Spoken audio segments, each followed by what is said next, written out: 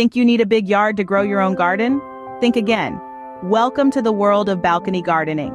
In this urban jungle we live in, space is a luxury, and a garden seems like a distant dream. But what if we told you that the tiny balcony in your apartment can be transformed into a lush green sanctuary? Yes, you heard it right. Balcony gardening is a real thing and it's been gaining traction amongst urban dwellers. It's not just about adding aesthetic value to your home, but it's also about creating a personal space that promotes relaxation and mental well-being. In this video, we will introduce you to the concept of balcony gardening, its myriad benefits, and some clever techniques to maximize your small space. From choosing the right plants and containers to learning about watering and fertilization, we've got you covered. Ready to transform your balcony into a lush green sanctuary? Let's dive in.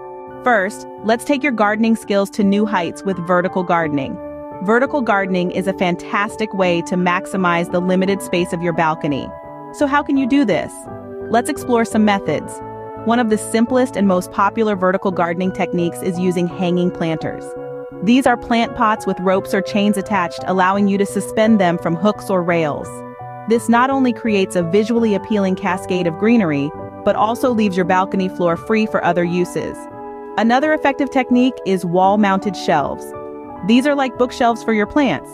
You can arrange a variety of small pots on these shelves, creating a living wall of green. It's a great way to showcase your plant collection without cluttering your balcony floor. If you're keen on growing climbing plants or vines, trellises are the way to go.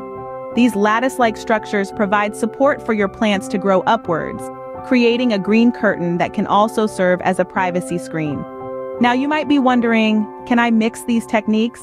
Absolutely.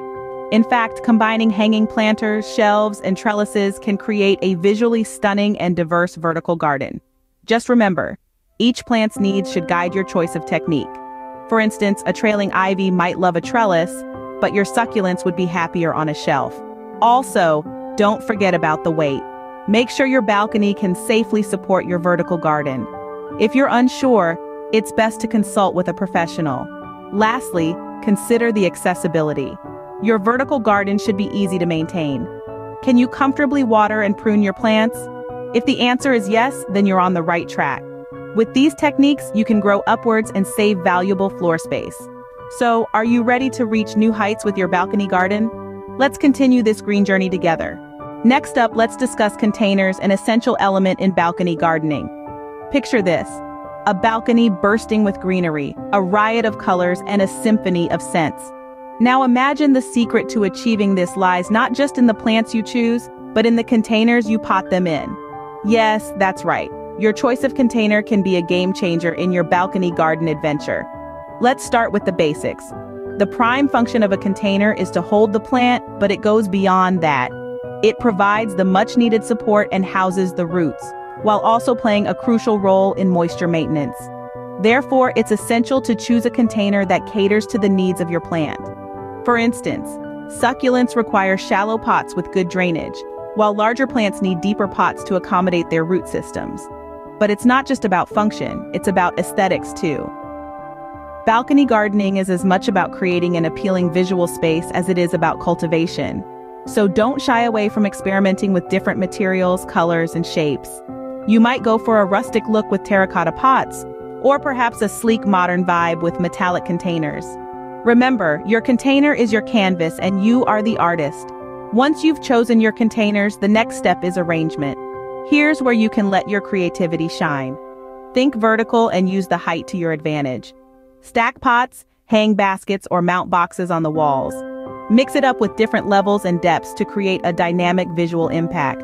You could arrange plants with similar care needs together, making watering and maintenance easier, or group them by color or type for a thematic display. Whatever your approach, the goal is to optimize space without compromising on the beauty of your balcony garden. In the end, remember that there's no one-size-fits-all solution. What works for one balcony garden might not work for another. It's all about understanding your space, your plants, and your personal style. Remember, the right container can make all the difference. Now that we've got our containers ready, it's time to pick our plants. Let's start with the basics. Understanding your balcony's sun exposure. Does it bask in full sun most of the day? or is it tucked away in a shady spot? The direction your balcony faces and the amount of direct sunlight it receives will significantly influence the types of plants that will thrive in your garden. For those with sun-drenched balconies, succulents are a perfect choice. These hardy plants love the sun and are an excellent way to add a touch of the desert to your urban oasis. Varieties such as jade plant, aloe vera, and echeveria come in different shapes and colors, offering a delightful array of options to choose from. In contrast, if your balcony is more shaded, fear not. Many plants love these conditions. Ferns, for instance, are shade-loving plants that can create an enchanting forest-like feel on your balcony. Spider plants and English ivy are also great options that can thrive in low-light conditions. It's also important to remember that some plants are more forgiving than others when it comes to varying light conditions. Herbs are a great example. Basil, rosemary, thyme, and chives are all hardy herbs that can adapt to a range of light conditions. Plus, they have the added benefit of being useful in the kitchen, making your balcony garden not only beautiful but practical too.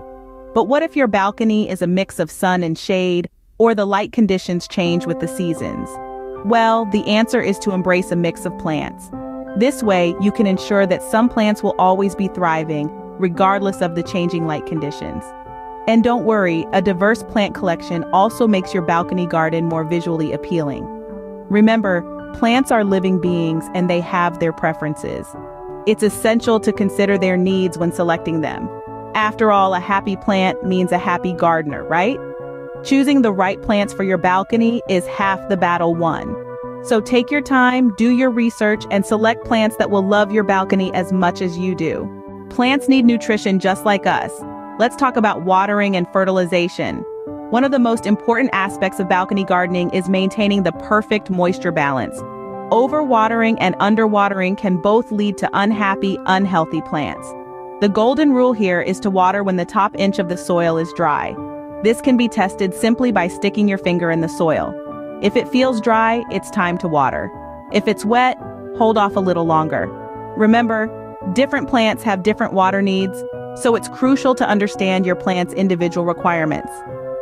Succulents and cacti, for example, prefer their soil to be completely dry before the next watering, while ferns and certain herbs prefer consistently moist soil. Now let's talk about self-watering systems. These can be a lifesaver for the busy urban gardener or for those who travel frequently.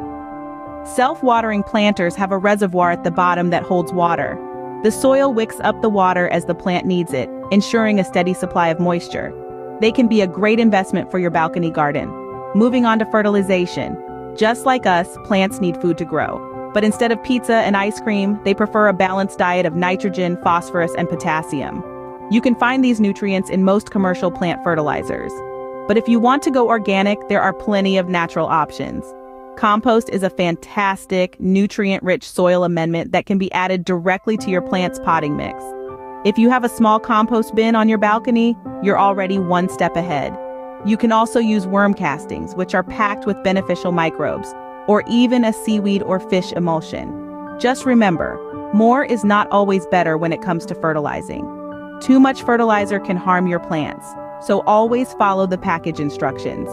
And like watering, different plants have different fertilizer needs, so do a little research to find out what your plants prefer.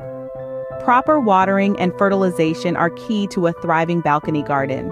Finally, let's discuss how to adapt your garden with the changing seasons. It's crucial to understand that plants, like us, respond to the rhythm of the seasons. As the cold months approach, it's important to take protective measures. Some plants may need to be brought indoors or given extra cover to protect from frost.